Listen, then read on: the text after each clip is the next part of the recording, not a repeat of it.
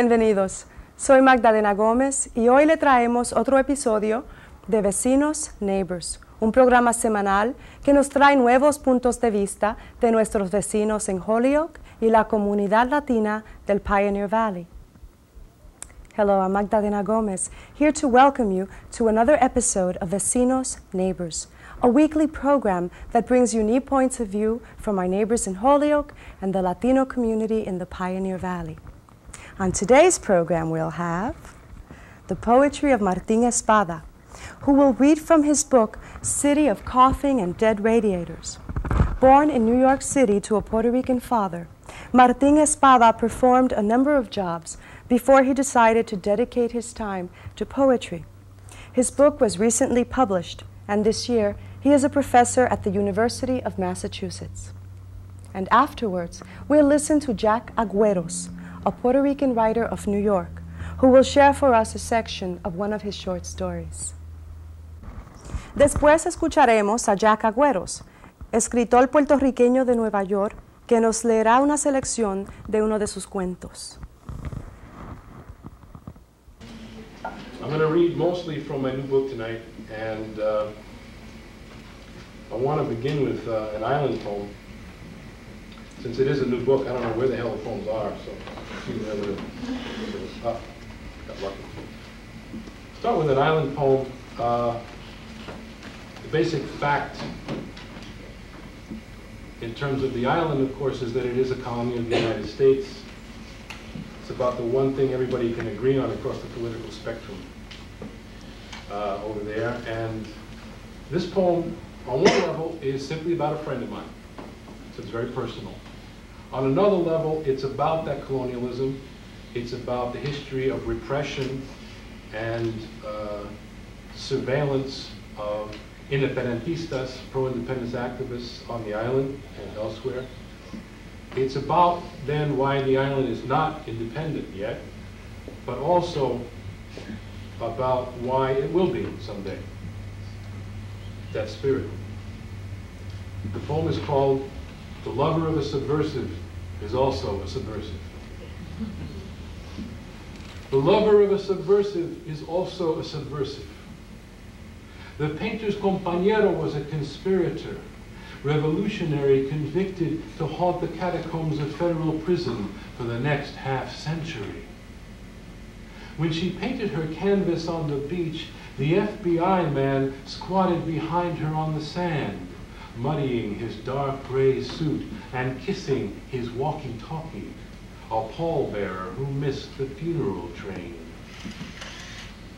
The painter who paints a subversive is also a subversive. In her portrait of him, she imagines his long black twist of hair. In her portraits of herself, she wears a mask or has no mouth. She must sell the canvases for the FBI man ministers solemnly to the principal of the school where she once taught. The woman who grieves for a subversive is also a subversive. The FBI man is a pale-skinned apparition staring in the subway. She could reach for him and only touch a pillar of ash where the dark gray suit had been. If she hungers to touch her lover, she must brush her fingers on moist canvas. The lover of a subversive is also a subversive. When the beach chilled cold and the bright stumble of tourists deserted, she and the FBI man were left alone with their spying glances as he waited calmly for the sobbing to begin, and she refused to sob.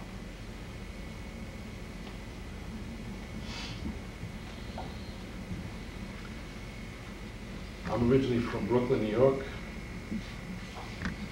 and I first visited Puerto Rico when I was about 10 years old. And like any kid, I experienced uh, that new sensation primarily through five senses. Being a fat kid, I experienced it primarily through my mouth. but there I was like Pac-Man going across the island, eating, drinking. And I discovered something there quite inadvertently. I discovered what you might call the taste of colonialism, because you taste it. Um, it's in the water, it's in the food. And that's what this poem is about. So you might call this my cultural imperialism on vacation poem. It's called Coca-Cola and Coco Frio.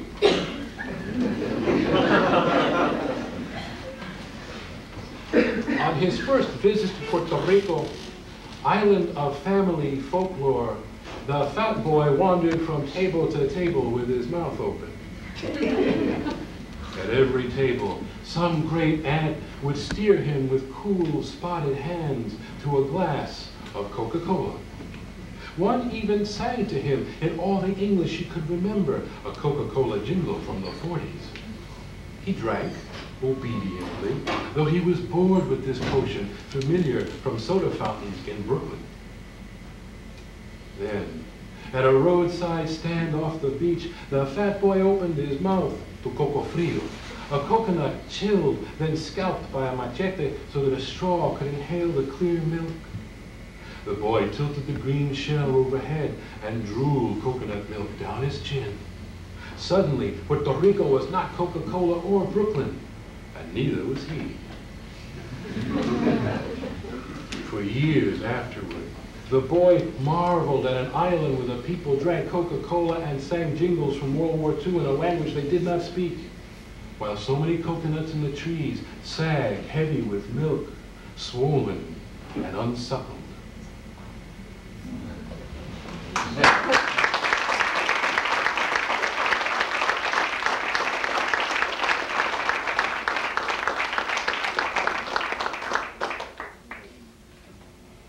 It is okay to applaud, by the way. People don't know what to do. Is this chamber music? What is this? Sorry.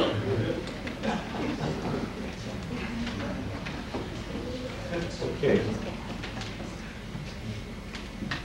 This poem involves some things that happened a few years later. Uh, I actually wandered here and there. I ended up in law school. And I went to Northeastern in Boston. And while there, I began to realize that there was some contradictions between the life I was leading now and the life I used to lead. Contradictions that some of my students, my fellow students, were not aware of. Uh, they were not aware of the price that is paid for the symbols of daily oppression we find all around us.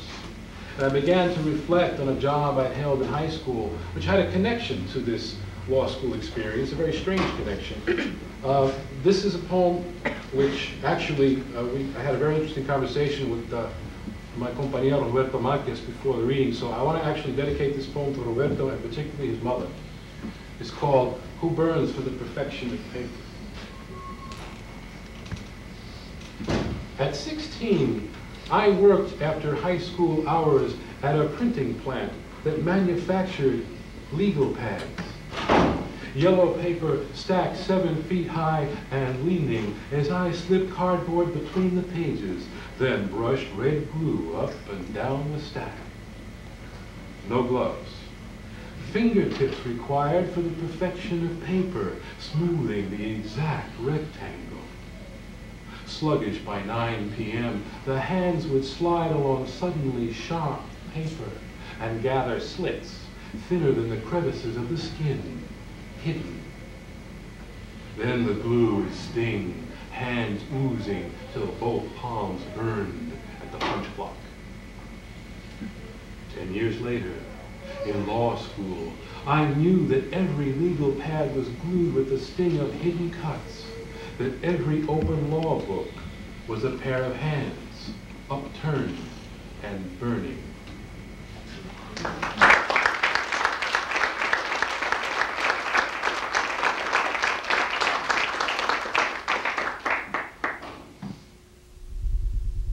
Eventually graduated from law school and spent most of my career as a lawyer working for an organization called Su Clínica Legal. Su Clínica Legal is a legal services program for low-income tenants, mostly Latino, uh, in Chelsea. Uh, now, for those of you who don't know Chelsea, uh, Chelsea is a tough little town right across the Tobin Bridge from Boston. It is year after year the poorest municipality in uh, the Commonwealth of Massachusetts. That is an oxymoron, Commonwealth. Um, and now, as a gateway city of immigrants, it is uh, about 45, 50% Latino. Uh, Puerto Rican, Dominican, um, Guatemalan, Nicaraguan, Salvadoran. One night I couldn't sleep. I was thinking about all those people I had seen pass through my office and pass through that courthouse. And the following poem emerged. Uh, the poem is the title poem in the book City of Coughing and Dead Radiators, Chelsea, Massachusetts. I cannot evict them from my insomniac nights, tenants in the city of coughing and dead radiators. They bang the radiators like cold, hollow marimbas. They cry out to unseen creatures skittering across their feet in darkness. They fold hands over plates to protect food from ceilings black with roaches. And they answer the call list. All evictions in court, raise the clip. Quiet and dutiful as spectral troops returning, they file into the courtroom, crowding the gallery. The patient one from El Salvador, shoemaker's union refugee, slapping his neck to show where that vampire of an army bullet pierced his uncle's windpipe. The red-haired woman with no electricity but the drug's heat, swimming in the pools of her blue bruises, white-skinned as the candle she lives by, and will move this afternoon for a hundred dollars. The prostitute swollen with pregnancy and sobbing as the landlady sneers miscarriage before a judge poking his broken hearing aid. The girl surrounded by a pleading carousel of children in Spanish bewilderment, sleepless and rapt vigilant, who wins reluctant extermination but loses the youngest, lead paint retarded. The man, alcohol puffed, graph of scars stretching across his belly, locked out, shirt stolen, arrested at the hearing for the rampage of his detox hallucinations. The Guatemalan boy who listens through the wall by his father's landlord defiant staccato, jolted awake by flashes of the landlord floating over the bed. Parade balloon waving a kitchen knife. For all those sprawled downstairs with the work boots crusted map printed on the back, the creases of the judge's face collapse into a fist. As we shut files and click briefcases to leave, a loud-faced man trumpets from the gallery, Death to legal aid!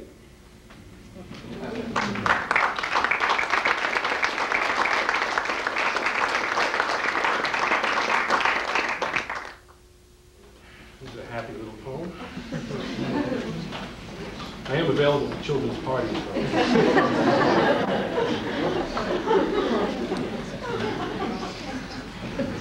I'm going to try to see or can take that. Actually, uh, the law is my favorite source of amusement. Allow me to uh, document that. Things actually got so bad in Chelsea that the courthouse building itself was condemned.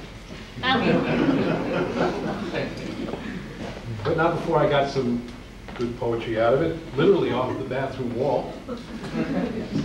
This is a short poem called Courthouse Graffiti for Two Voices. Jimmy C., greatest car thief alive, Chelsea, 88. Then what are you doing here? I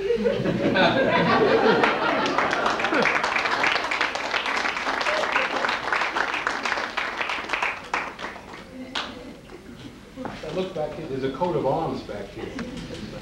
It's like there's a couple of badges. It's the city of New York, Steel. Okay. Obviously, we're in New York City, it makes perfect sense. I admire very much the tenacity of the people in our community. I'm thinking now both about the clients that I mentioned and uh, friends, family that I know. This is a poem for somebody who's not here tonight, but uh, she lives and works in the area, and it's based on a story she told me.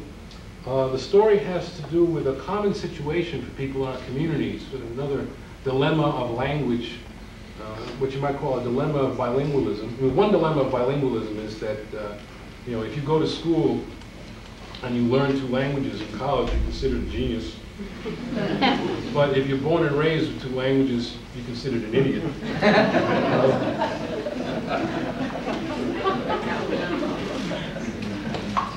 Another, another dilemma is a dilemma that's actually faced by children in our community who are compelled to translate for their parents. And uh, most of us here know that situation. So this is a poem about that, and it's called Borofels, for Sonia Nieto. In Brooklyn, the mice were crazy with courage, bony gray pickpocket snatching crumbs from plates at the table. The roaches panicked in spirals on the floor, or weaved down walls for the sanctuary of cracked paint. No heat, so the oven door drooped open like an immigrant's surprise. Sonia's mother was mute in English, mouth chapped and coughing without words to yell for heat. But the neighbors spoke of Borofels. Tell Borofels, and mice shrivel in traps, roaches kick in poison heaps, steam pipes bang so loud that windows open in winter.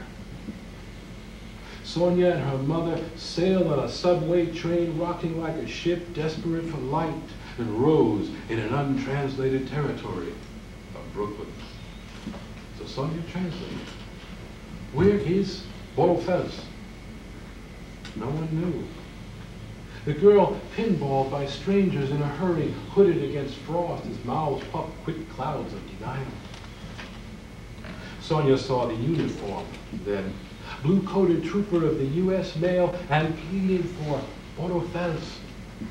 His face, drowsing in bewilderment, awoke with the gust of what he suddenly understood, and he pointed down the street. You want the Board of Health. they could yell now like banned poets back from exile.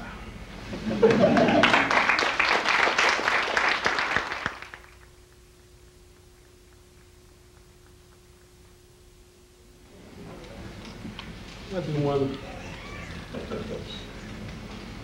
I want to do one.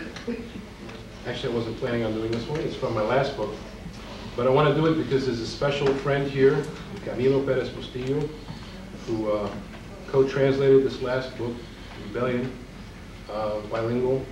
And it's also about an experience we had together working as lawyers for an operation called META, uh, Multicultural Education Training and Advocacy, which is a bilingual education law firm and uh, we got a call one day, speaking of the dilemmas of bilingualism, we got a call one day from uh, Lynn, Massachusetts. Please come up to Lynn over at the high school. They have banned Spanish at lunchtime. Reasons of digestion, I assume. this is more common than you might imagine, the Spanish language being perceived as a threat and banned outright certain times and places in the public schools. And uh, so we went up there and we dealt with the problem. It is rumored that the principal still wakes up in the middle of the night screaming about the Spanish lawyers, as we came to be known. and so I wrote this poem as what you might call an olive branch with thorns on it. Um, I'll do the poem, it's a short poem first in Spanish and then in English. The poem is called The New Bathroom Policy at English High School, or Nueva Norma para el Baño en la English High School. Los muchachos cacarean español en el baño, mientras el principal de la escuela los oye desde el inodoro.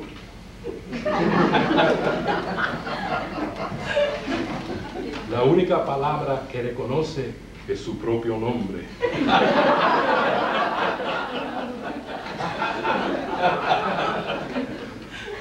Y esto le da estreñimiento.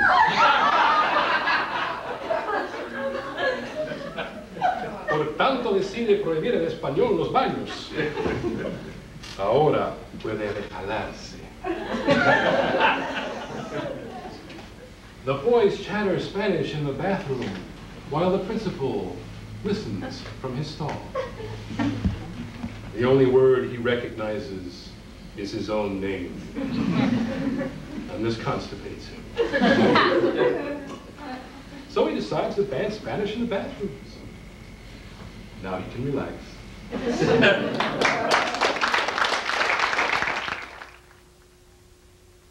This is a poem which is about the fact that that whole bureaucracy experience has seeped literally into my dreams. Uh, this was a dream I actually had right after the birth of our son, Clemente, at the end of December 1991, and it's called DSS Dream. I dreamed the Department of Social Services came to the door and said, we understand you have a baby, a goat, and a pig living here in a two-room apartment.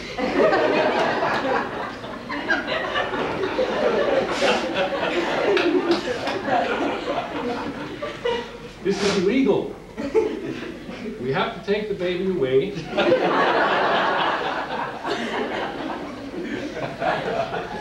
Unless you eat the goat. Pig's okay? The pig's okay.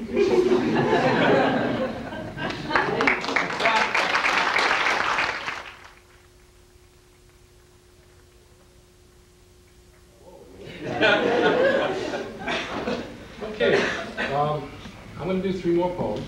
And to do that, I'd like to invite now to join me up here uh, a friend and uh, fine bass player. You may have noticed, by the world's biggest violin in the corner over there. Uh, going to like to invite uh, the man who plays that instrument up here with me now. His name is Michael Marcus.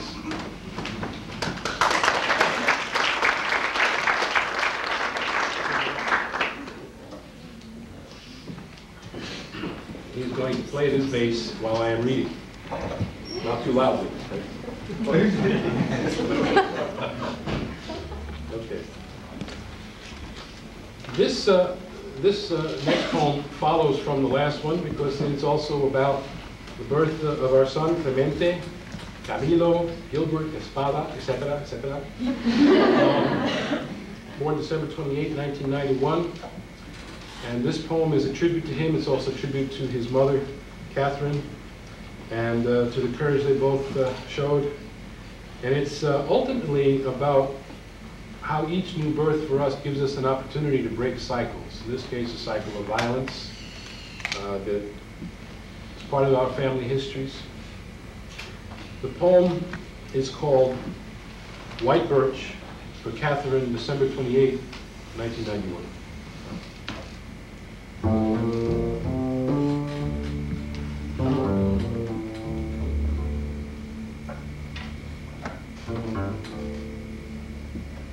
Two decades ago, rye whiskey scalded your father's throat, stinking from the mouth as he stamped his shoe in the groove between your hips. Dizzy, flailing cartwheel down the stairs. The tail of your spine split, became a scraping hook. For 20 years, a fire raced across the boughs of your bones, his drunken mouth a movie, flashing with every stab gesture. Now the white room of birth is throbbing. The numbers palpitating red on the screen of machinery tentacled to your arm. The oxygen mask wedged in a wheeze on your face. The numbing medication injected through the spine. The boy was snagged on that spiraling bone. Medical fingers prodded your raw pink center while you stared at a horizon of water no one else could see. Creatures leaping silver with tails that slash the air like your agonized tongue. You were born in the river valley, hard green checkerboard of farms, a town of white birches and a churchyard from the workhorse time. Weathered headstones naming women drained of blood with infants coiled inside the caging hips. Hymns swaying as if lanterns over the mounded earth. Then the white birch of your bones, resilient and yielding, yielded again. Roots snapped as the boy spilled out of you into hands burst open by beckoning and voices pouring praise like water. Two beings tangled in exhaustion, blood painted, but full of breath. After a generation of burning, the hook unfurled in your body, the crack in the bone dissolved. One day you stood, expected again the branch of nerves fanning across your back to flame, and felt only the grace of birches. Two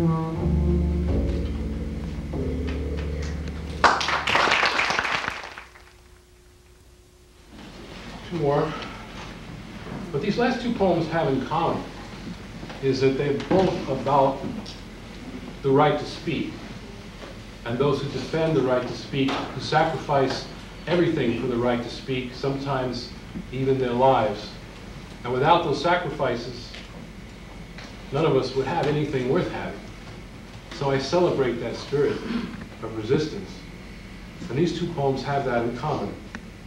This first poem was written after I visited San Antonio, Texas, a few years ago. I know some people here from San Antonio. right.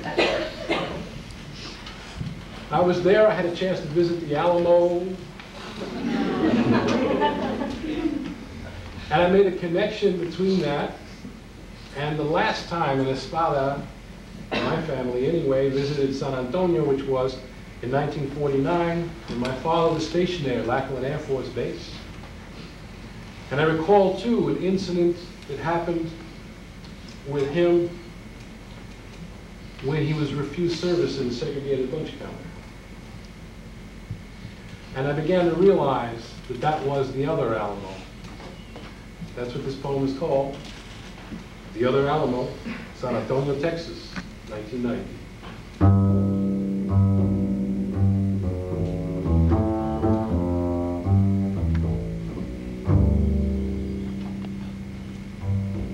In the Crockett Hotel dining room, a chalk-faced man in medal uniform growls a prayer at the head of the veterans table. Throughout the map of this saint-hungry city, hands strained for the touch of shrines, genuflection before cannon and memorial plaque, grasping the talisman of Bowie knife replica at the souvenir shop, visitors in white biblical quote t-shirts.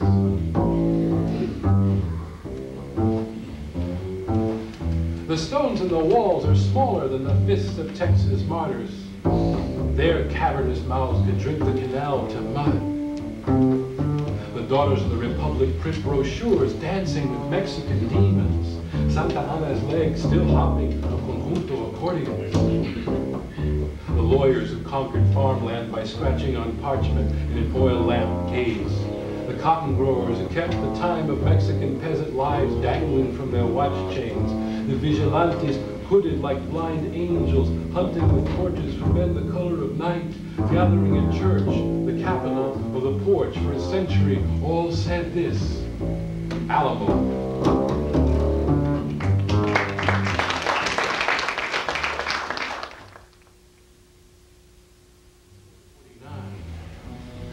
Three boys in Air Force dress khaki ignored the whites only sign at the diner by the bus station. A soldier from Baltimore who heard nigger sung here more often than his name, but would not glance away.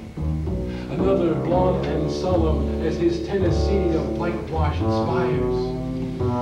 Another from distant Puerto Rico, cap tipped at an angle in a country where brown skin could be boiled for the leather of a vigilante's wallet. Waitress squinted a glare and refused their contamination. The manager lost his crew-cut politeness and blustered about local customs. The police, with surrounding faces, jeered about tacos and senoritas on the Mexican side of town. We're not leaving, they said, and hunched at their stools till the manager ordered the cook, sweat-burnished black man unable to hide his grin, to slide cheeseburgers on plates across the counter. We're not hungry, they said, and left a week's pay for the cook. One was my father. His word for fury is Texas.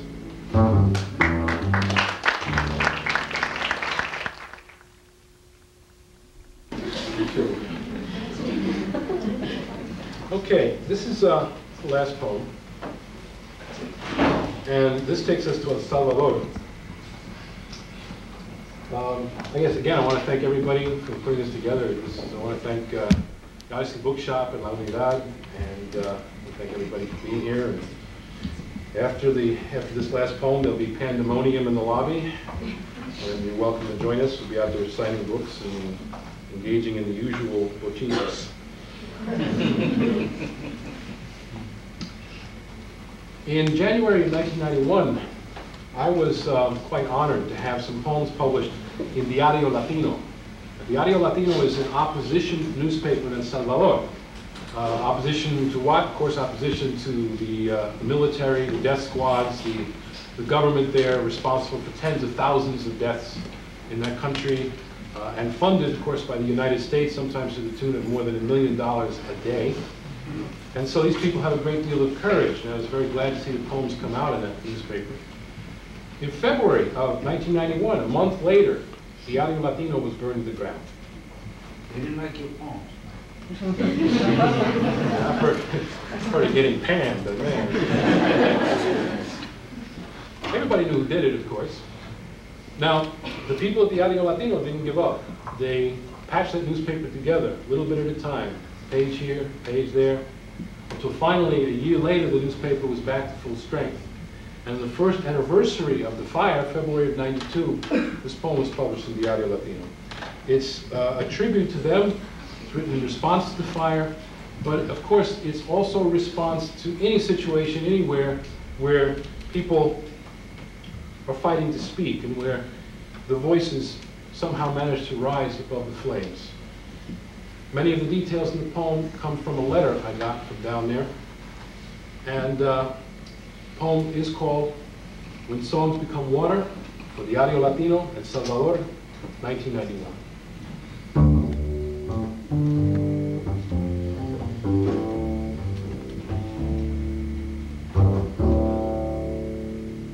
Where dubbed commercials sell the tobacco and alcohol of a far winter metropolis where the lungs of night cough artillery shots into the ears of sleep, where strikers with howls stiff on their faces and warnings pinned to their shirts are harvested from garbage heaps, where olive uniforms keep watch over the plaza from a nest of rifle eyes and sandbags, where the government party campaigns chanting through loudspeakers that this country will be the common grave of the Reds. There, the newsprint of mutiny is as medicine on the fingertips, and the beat of the press printing mutiny is like the pounding of tortillas in the hands.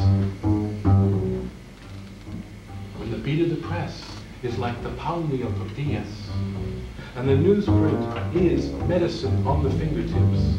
Come the men with faces wiped away by the hood, who smother the mouth of witness night, shaking the gasoline can across the floor, then scattering a dark orange eruption of windows, leaving the paper to wrinkle gray in the heat.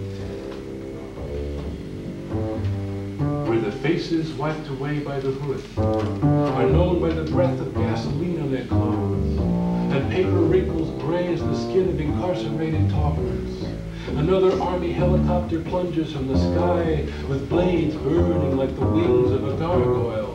The tortilla and medicine words are smuggled in shawls. The newspapers are hoarded like bundles of letters from the missing. The poems become songs, and the songs become water streaming through the arteries of the earth, where others at the well will cool the sweat in their hair and begin to think.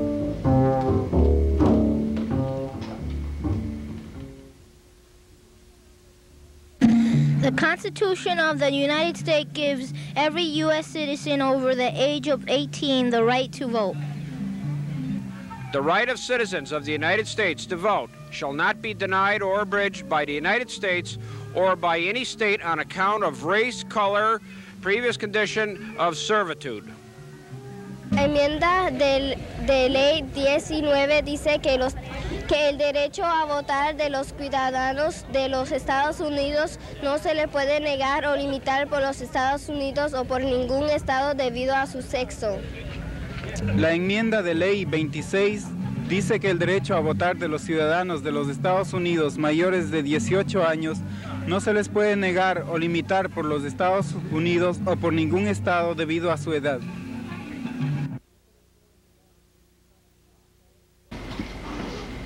I'm going to start with a story that takes place as a conversation between two men who have known each other from childhood. And one of them is a drug addict at the moment the story begins and ends. And the other is sort of thinking about what he's going to do with his life. And they're talking about a third person that they also knew, though possibly not at the same time in their youth. And that's why the story is called Oscar's Story. Uh, For those of you who are under 13 years of age, I recommend that you leave and come back with your parents, because there is some strong language here, which I did not invent, but I do use it in the story.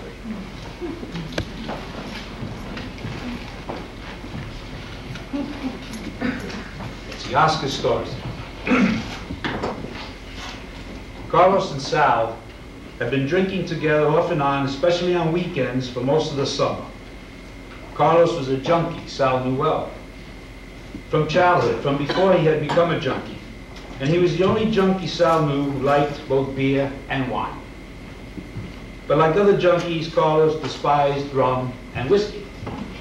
If you just mentioned rum or whiskey, Carlos would make a face and then start doing something with his throat and mouth that seemed like he was having dry heaves. He had that kind of sense of humor. The kind of humor everybody had when they were all boys in junior high school together. One especially hot night when beer or wine got hot before you were even halfway through the can or bottle, Carlos looked up after a long period of staring into one blank space. Maybe it had been a reverie. It came after he had stopped nodding. That amazing balancing act that junkies do after they shoot heroin. They sway to one side, you swear they will fall, and tilted at some exaggerated angle, they suddenly pop upright. Open their eyes a tiny bit, only momentarily, and start tilting again on another angle. Swaying but not falling. You never saw one fall. You saw junkies all over Spanish Harlem, nodding. Sometimes they would scratch some part of their body, usually the face, arms, or legs, lightly, in slow motion.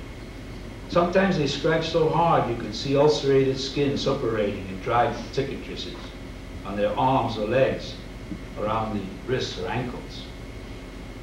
You also saw two guys dragging a third guy between them, keeping the third guy walking to prevent his slipping into a coma or stupor, which was a way station not far from death, and therefore had to be avoided. Sal never understood the whole sequence. Considering how many junkies he knew and how many he had seen, he had never spent one whole day with a junkie. Sal didn't know what came first, a certain semi-consciousness, followed by nodding and scratching, or the scratching first, then the other. He also never knew if the junkies weren't experimenting with whatever was cheap and available, catch of the day, and mixing heroin with amphetamines. The goofballs made them talk, talk, talk. The grass made them laugh. The heroin made them nod. And in combination, or washed down with beer or wine, what did that make them do? Maybe the scratching came as a sign that it was time for another dose. Carlos stared at Sal and then said, My father used to say that thinking and reading too much was bad for the brain, you know?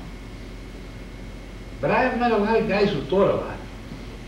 And a lot of guys who never thought about nothing. And their brains were the same. Did I ever tell you Oscar's story? I had a cousin in Moscow who played the drums. I went to the Bronx High School of Science, see? He was definitely the smartest guy in the whole family, but uh, he wigged out. He went completely crazy. You know the Bronx High School of Science is one of the best high schools in the United States, right, Sal? His father, who was my uncle and owned the candy store that used to be over there, the Carlos pointed to the southwest corner of Lexington Avenue and 110th Street. It had the best malted milks in the whole neighborhood except for the ice cream parlor on 18th Street and 3rd Avenue. But you couldn't go up to 118th every day because of the Italians, and especially the Italian gang called the Red Wings. My uncle used to put out that his son went crazy because he was so intelligent and he studied so hard. You know, you got to take a very tough test to get into Bronx science. You know that, right, Sal? But that was a whole lot of bullshit on my uncle's part. Oscar went crazy because his father, my uncle, Manolo, was a fucking tightwad. Hard as my elbow. Carlos played a fist with his right hand and knocked on his left elbow for emphasis. Tacaño, he said. Then in case Sal hadn't understood, he used another Spanish word. Maceta. hard, hard, cheap, chintzy. Sal wondered what chintzy had to do with chintz. Maybe chintz was a cheap cloth or fabric. Man, that cat was making big effing bucks from that candy store. He had the best collection of funny books. And I still remember the very clean tile floor. Had a very pretty pattern in the center. Dark tiles and light tiles, a border of black tiles, and a few red tiles forming a diamond here and there. And the tables was round pieces of marble, and the chairs was made out of bent wire. You remember, with wooden seats? They was like the side chairs in the barber shop, too, and the same chairs they had on 18. The joint always smelled great. It smelled a little like tobacco, a little like malt, a little like funny book paper. But Manolo wouldn't give his son a dime, not one thin, tiny dime. When Oscar got a girlfriend and the old man told Oscar to bring her to the candy store and he would sell her a soda or malted at a discount. Can you imagine that shit, a discount for his son's girlfriend? Then when the girl got to the store, Manolo gave her the third degree. Then it was an interrogation. Oscar wanted to die from embarrassment. His girl wanted to run, never see any of them again, but she was a sweet Puerto Rican girl. And she just sat answering Manolo's questions politely, never looking him in the eye. What does your father do? Does he work? Where? Does mother work? Does she religious? but even after that, Manolo decided that his son was not studying enough and not practicing the drums enough, and he started saying that Oscar was sinful to go out with girls. He ought to spend his full time studying and drumming. It was too much, man. One day I went in the candy store after school, and there was Oscar taking care of the counter doing drumming drills on his practice pad. You ever see one of those things? It's a rubber thing. A hunk of rubber on a piece of wood, see, and then drumstick bang, bang on the rubber, and they bounce back like off drumsticks, but you ain't got the noise of drums. My uncle, his father, was counting his money, or some shit in the back. I know he wasn't stacking bottles, because he had slave Oscar for all the real work. I said to Oscar, man, what are you doing? Two things at once? Oscar said, yeah. My father thinks I should practice when there are no customers. Then one day, Manolo pulled the final drag. My uncle became a Pentecostal. Hallelujah. Oh man, I had to stop going to the candy store. The cat wouldn't stop talking, talking El Senor. Talking God, talking Jesus, the man. Every time he went into the store, he put the conversation into God. You say, how are you? He would say, thanks to God, I'm okay. God is the source of our health. And he would go into a preaching in a minute. Then he started having these preachers come in to break Oscar down. Telling Oscar he was sinful because he went out with girls, and then he was sinful because he didn't obey his father.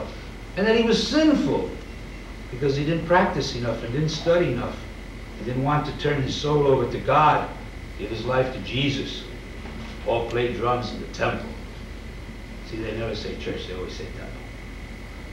What I figured out from listening to Oscar was that these preacher cats had never seen no real sins. So they thought all this bullshit was sins. I stopped going in the store. My cousin Oscar had become a maniac. He had a look in his eyes like Boris Karloff. Only Oscar wasn't acting. No matter how much I missed those malteds, or the egg creams, or the four cent sodas. Actually, Pop's candy store on the other corner of Lexington made better egg creams, and also Pop, who wasn't a cheapskate, put more flavor in the four cent sodas. When Pop made you a lime soda or a cherry lime rickey, he let you see him putting the flavor in the salsa. And his sodas was rich in taste. They had strong color. My Uncle Manolo, he never let you see what he was doing behind the counter. and one of his four cent sodas looked like Dracula got to it first and drank off the best part. Things looked anemic. If I went in the store, Manolo was there, I would only buy a 40 book. Then I would wait for my cousin to be taking care of the store and get my malteds. But even missing those malteds like I did, you know, I think I had an addiction to them. It was too painful to go to the store. On this side, you got Preacher Papa nonstop. On this side, you got Oscar drumming, drumming. His eyes looking wilder and wilder, speaking less and less. Carlos stopped talking. Sal drank wine. And he wondered what would happen next. Would Carlos continue the story? Or would he start another story? Forget that he had been telling a story? But would the next part contradict everything that he said before? You never knew, because you never knew what was talking, Carlos or the heroin, or Carlos and the heroin. Was it all made up? Was only part made up? Sal remembered the candy store. Remembered the kid drumming on the pad. The summer came and went, and Oscar was drumming all day and into the night. Then what had to happen, happened. He wigged out. Oscar had been in the back, busy, bringing bottles from the basement into the basement one, when he noticed that someone was calling him. That's when Manolo, his father, my uncle, that's his name, Manolo. When Manolo started yelling, hey Oscar, what's taking you so long? Are you drinking my sodas? Now see, I, I happen to know that Oscar never drank sodas, never drank malteds. Oscar hated them, man, you know? The cigarettes was different. He'd cup a Lucy once in a while, but he hated the sweet drinks. Oscar came out with a case of soda in his hand and put it down in the middle of the floor. Then he went over to his practice pad and he took the drumsticks in his hands, but he didn't play. He just sat over the practice pad. You ever seen a cat with his stump up? Hanging over his water with a faraway look? That's how Oscar was sitting. Manolo said, Jesus, sweet love. What's wrong, Oscar? Why aren't you practicing? Put that soda box where it belongs. And Oscar got up from the counter. And he started to gently drum on his father's head. Oh. Manolo started saying, look, look, and started to back away. Manolo grabbed the broom. Hit Oscar. And Oscar took the soda crate. One of them old ones that had wing of steel. And he bashed his father over the head with it. And when his father was on the floor, bleeding from a gash in his bald skull, Oscar started drumming on his head. Oscar's mother came in the store later, much later, late enough for the blood to be black and sticky on my Manolo's head. Black and sticky on the drumsticks. But Oscar was sitting right there next to his passed out father, drumming, drumming on his head. And when Oscar saw her, he threw a bottle at her. Hit his mother right on the shoulder. She called the cops. I remember that kid, but I don't think I knew his name was Oscar, It's said Sal.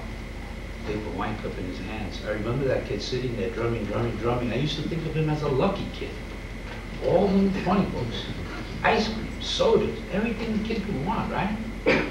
Wrong, said Carlos. Wrong as shit. That kid Oscar never got the right time of day from his old man. I know he was my cousin.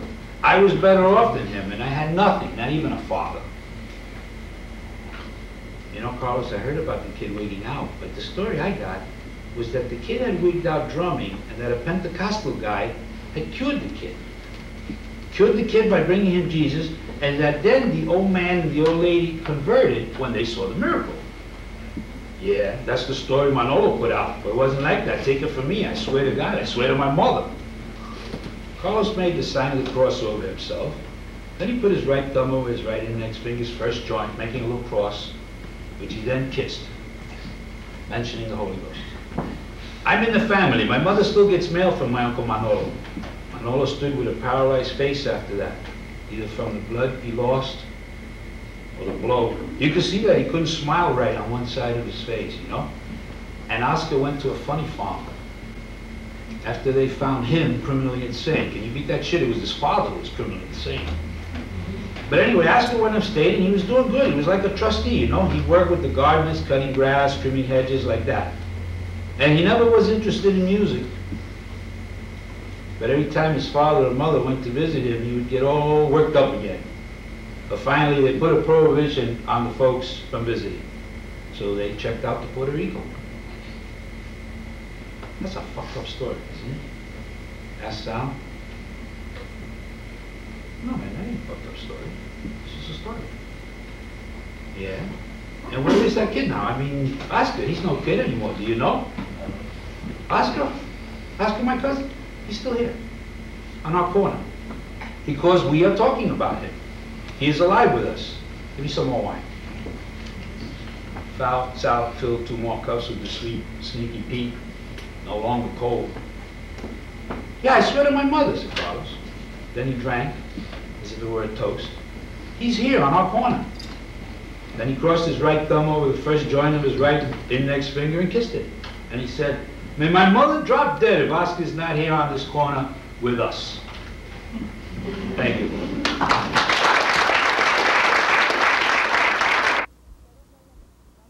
Espero que hayan disfrutado este programa y si les gustó, pues regresen con nosotros la semana que viene.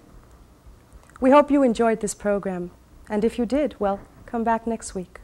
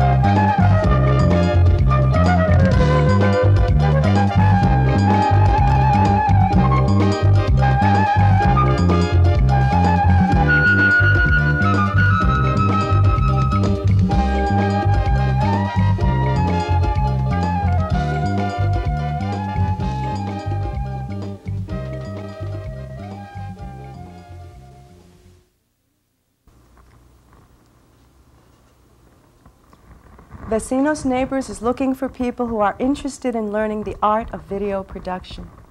If you're active in the Latino community of Holyoke, and you're bilingual, have a car, and are over 18 years of age, you can come and learn the art of video production.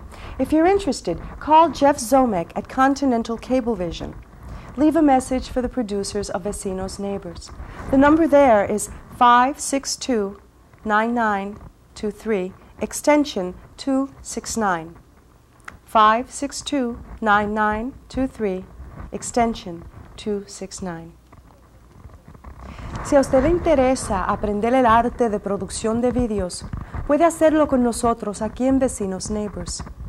Los requisitos son que si una persona que está envuelta en la comunidad latina de Holyoke tiene 18 años, es mayor, tiene un auto, interés y es bilingüe en inglés y español. Si tiene interés, puede llamar a Jeff Zomek en Continental Cablevision. Y ese número es 562-9923, extensión 269. Otra vez, ese número es 562-9923, extensión 269. Y pregunte o deje un mensaje por los productores de vecinos Neighbors. Nos vemos.